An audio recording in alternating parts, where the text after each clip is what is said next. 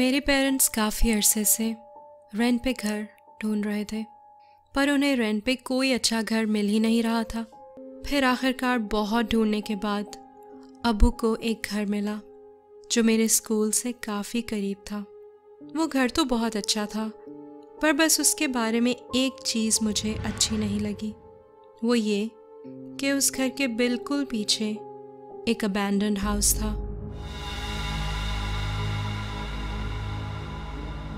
वैसे तो मैं बहुत नडर हूँ। मैं और बच्चों की तरह ऐसी चीज़ों से घबराती नहीं, पर मुझे वो अबैंडन घर कुछ अजीब मिस्टीरियस सा लगा। और चूँकि मेरा कमरा घर के पिछले हिस्से में था तो मेरे कमरे की खिड़की से उसी मनहूस अबैंडन घर का व्यू नज़र आ रहा था। अम्मी, अबू को कोई और घर नहीं मिला था। मुझे अपना कमरा नहीं पसंद। मेरे कमरे की खिड़की से वो अबैंडन घर नज़र आ रहा है। एनी तुम्हें पता है ना, कितनी मुश्किल से इतना ढूँढने के बाद ये घर मिला है। फिर आप मुझसे कमरा एक्सचेंज करें। मुझे नहीं उस कमरे में रहना। मुझे अपना कमरा नहीं पसंद। इतने नखरे मत करो एनी इन फजूल चीज़ों पे फोकस करने की बजाय। मेरी हेल्प करवाओ। अपना कमरा सेट करो। बहुत काम रहता है शिफ्टिंग का। चलो शाबाश। हाँ चाहे मैं कुछ भी कर लेती मास्टर बेडरूम तो मुझे नहीं मिलने वाला था। खैर, थोड़े दिनों बाद मुझे उस कमरे की आदत हो गई और आहिस्ता आहिस्ता मेरा डर भी निकल गया। मगर एक रात मेरे साथ अजीब वाक़ हुआ। नौ बजे जब रोज़ की तरह मैं सोने की तैयारी कर रही थी, मेरी नज़र अपने कमरे की खिड़की पे पड़ी। और मुझे ऐसे लगा जैसे उस अबैंडन हाउस के ऊपर वाले रूम की खिड़की में कोई खड़ा है।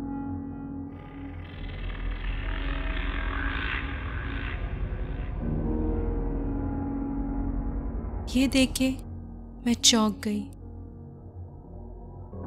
पहले तो मुझे लगा कि शायद ये मेरा वहम है, और मैं बार बार अपने आप को ये यकीन दिलाती रही कि ये मेरी नज़र का धोखा है। पर क्लियरली उस वक्त वहाँ कोई था जो मुझे साफ़ नज़र आ रहा था।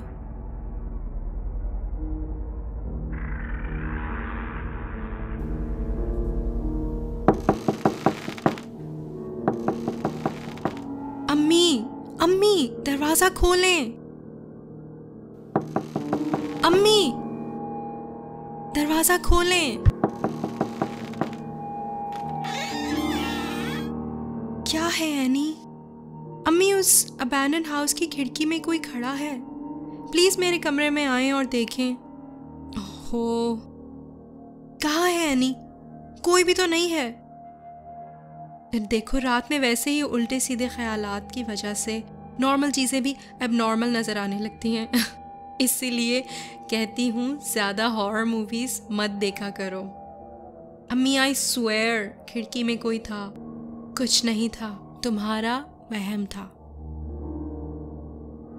अगली रात दोबारा जब मैं बेड पे जाने लगी तो फिर दोबारा मुझे उस अबैंडन घर के ऊपर वाले कमरे की खिड़की में वही नज़र आया।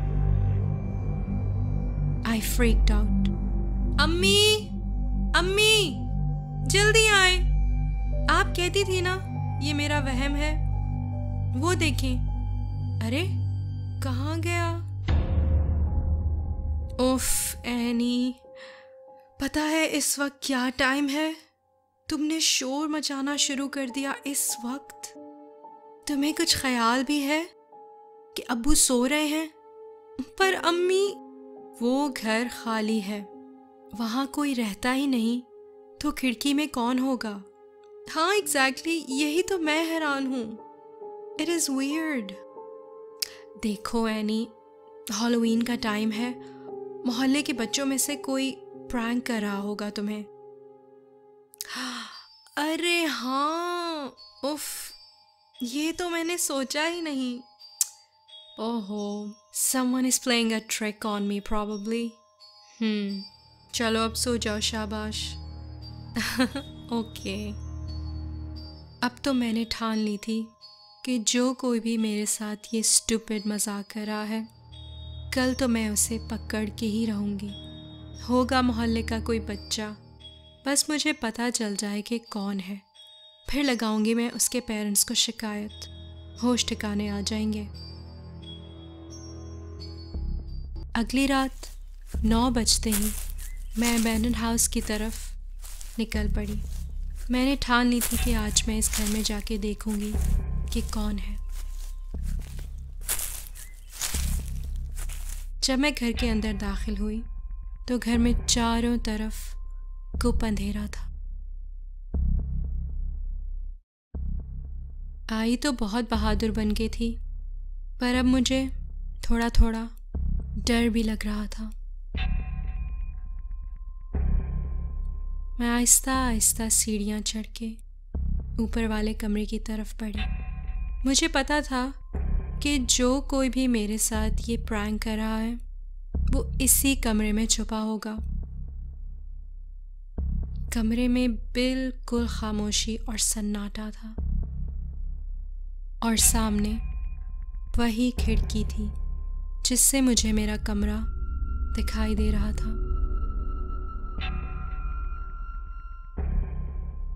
अरे, यहाँ तो कोई नहीं है।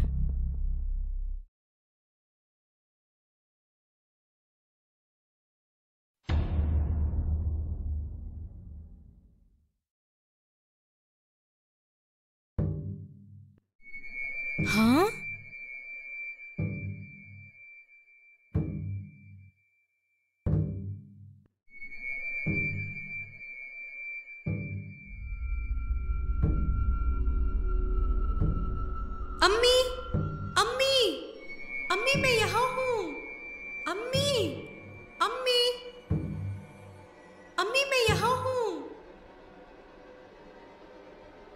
मैं भागी भागी नीचे गई।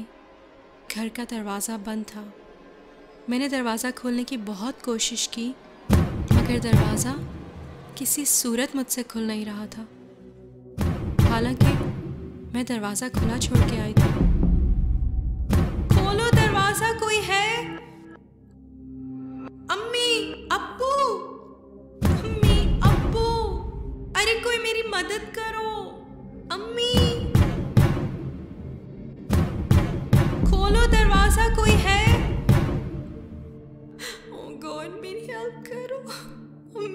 अम्मी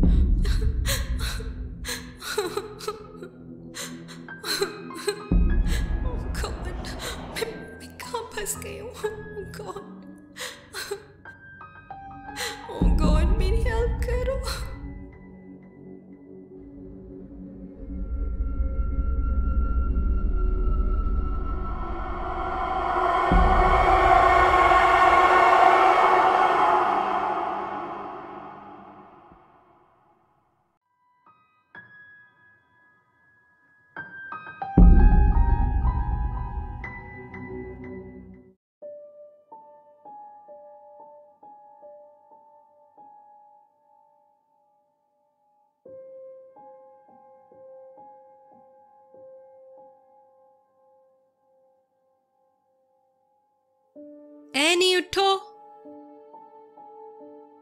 स्कूल के लिए लेट हो रही हो। सुबह का अलार्म लगाना भूल गई थी क्या? या रात को देर तक जागती रही हो? एनी? क्या हुआ?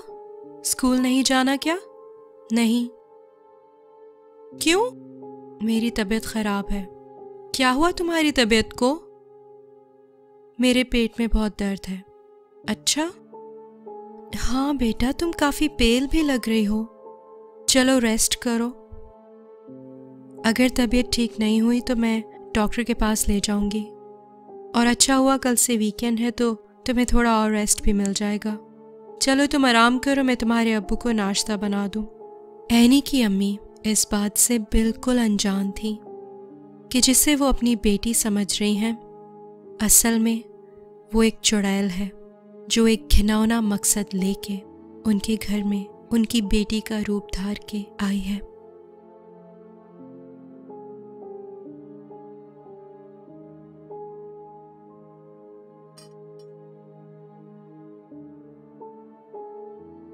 अब कैसा फील कर रही हो? ठीक हूँ।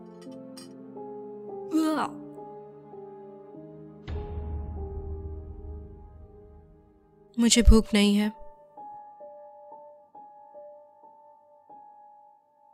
क्या हुआ इससे?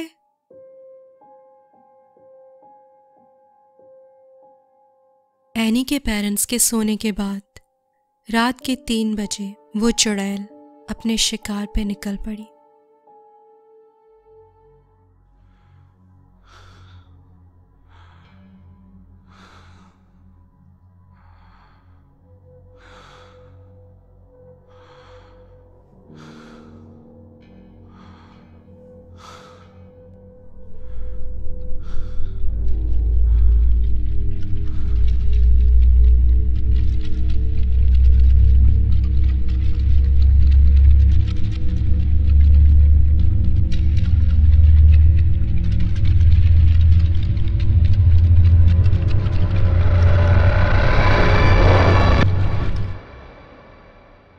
अब उस चुड़ैल का हर रात यही काम था। वो एनी के पेरेंट्स के सोने के बाद रात को अपने शिकार पे निकल जाती और वापस आके एनी के बिस्तर पे सो जाती।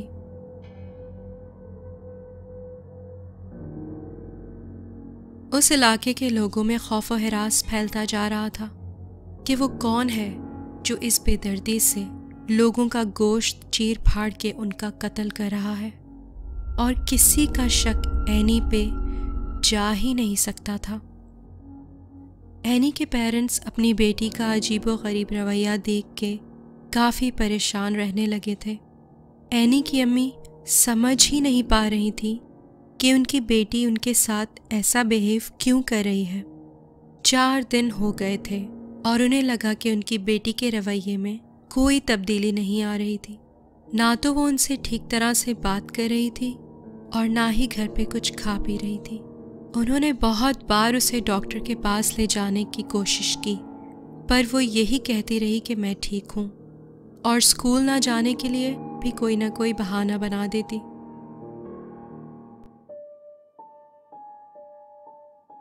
एनी का ये बिहेवियर देख के मुझे बहुत परेशानी हो रही है।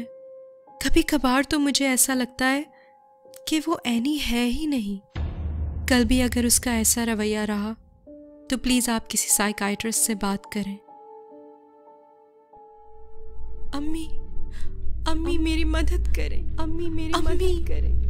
अम्मी मेरी मदद करें। अम्मी मेरी मदद अम्मी मेरी मदद करें। मेरी मदद करें।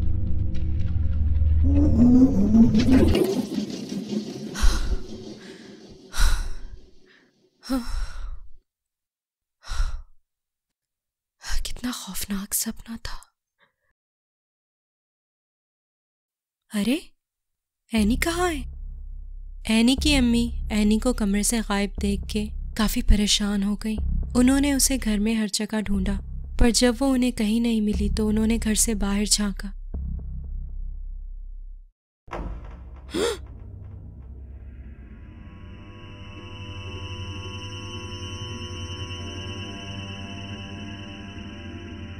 उन्हें अपनी आँखों पे यकीन ही नहीं हो रहा था कि वो अपने सामने इतना खौफनाक मंजर देख रही हैं।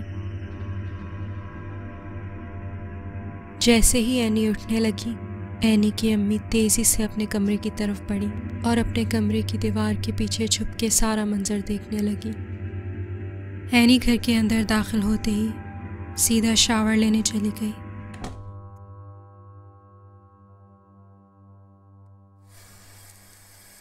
एनी की अम्मी को उस वक्त बिल्कुल समझ नहीं आ रहा था कि वो क्या करे। और वो उसी बेबसी की हालत में एनी के कमरे में जाके रोने लगी। मेरी बेटी को क्या हो गया है? ये मेरी बेटी नहीं हो सकती। ये एनी नहीं हो सकती। हाँ?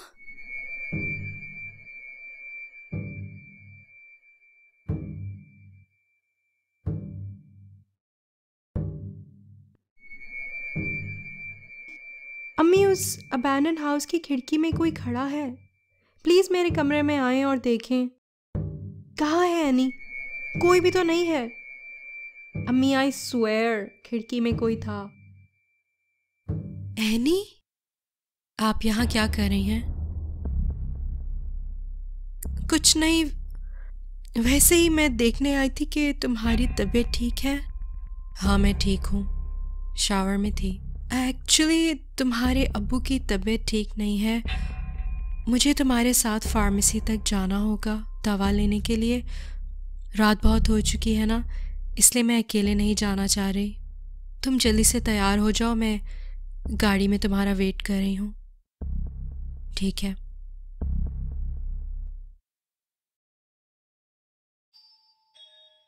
एनी तुम्हें पता है तुम्हारे अबू तुमसे बहुत प्यार करते हैं। कल ही वो मुझे कह रहे थे कि मैं एनी के बचपन के दिनों को बहुत मिस करता हूँ। कल वो मुझे घंटों तुम्हारे बचपन के किस्से सुनाते रहे। और मालूम है उन्हें अभी तक याद है कि तुम्हारे पास एक गुड़िया हुआ करती थी, तुम्हारी सबसे फेवरेट डॉल उन्हें तो तुम्हारी गुड़िया का नाम भी अभी तक याद है सैरा पता है, उसे साथ लिए बिना तो तुम सोती भी नहीं थी। हाँ मुझे याद है। मुझे वो डॉल बहुत पसंद थी। और मैं हमेशा उसी के साथ खेलती थी ना? मुझे याद है। अच्छा क्योंकि एनी को तो डॉल से सख्त नफ़रत थी। और उसके पास तो कभी कोई डॉल थी ही नहीं।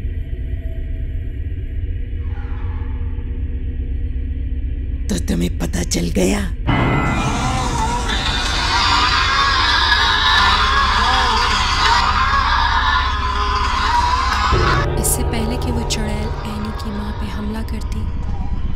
जल्दी से गाड़ी को लॉक करके, कार बूट से पेट्रोल की बोतल निकाल के, गाड़ी के ऊपर पेट्रोल छिड़कना शुरू कर दिया।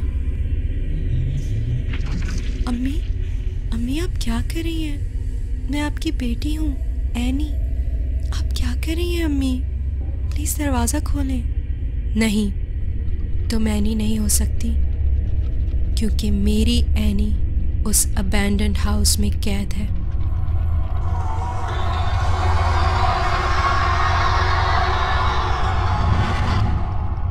और इस तरह एनी की माँ ने उस चुड़ैल को वहीं जला के राख कर दिया।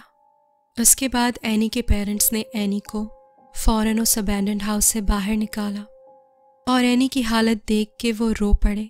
एनी चार दिन से उस घर में कैद थी और सिर्फ़ किचन के नल से जो पानी आ रहा था, वो पानी पी के उसने वहाँ इतने दिन गुजारे। अगर थोड़ा और देर हो जाती तो शायद एनी के पेरेंट्स उसे हमेशा के लिए खो देते। इस वाक़े के बाद एनी की अम्मी को उसी मोहल्ले के एक पुराने रहने वाले से पता चला कि बहुत अरसा पहले इस घर में एक औरत रहा करती थी और उस औरत के बारे में ये मशहूर था कि वो कोई आम औरत नहीं, बल्कि एक चड़ैल थी जो हर रात अपने शिकार पे निकलती थी। लोगों का गोश्त खाने के लिए। उस ज़माने में उस एरिया में मर्डर्स की कई वारदातें हुई और पुलिस को जो भी डेड बॉडीज़ मिलती थी, उनकी हालत ऐसी थी जैसे किसी ने उन्हें बुरी तरह से नोच खाया हो। और फिर एक रात वो औरत किसी इंसान का गोश्त खाती हुई पकड़ी गई। उस एरिया के लोगों ने उसे सज़ा देने के लिए उसी के घर में हमेशा के लिए बंद कर दिया। उस घर से बाहर निकलने के सारे रास्ते बंद कर दिए गए। किसी को कुछ नहीं पता कि उसके बाद उस औरत का क्या हुआ। बहुत से लोगों का ये कहना था कि वो औरत अपने ही घर में भूख से मर गई। पर किसी को क्या मालूम था कि कई सालों बाद उस चुड़ैल की आत्मा एनी का रूप लेके एक बार फिर वापस आएगी। ताकि वो अपना घिनौना मकसद दोबारा पूरा कर सके। एनी और उसके पेरेंट्स बहुत लकी थे कि वो अपनी बेटी की जान बचा पाए और उस वाक्य के बाद उन्होंने फ़ौरन वो घर भी छोड़ दिया।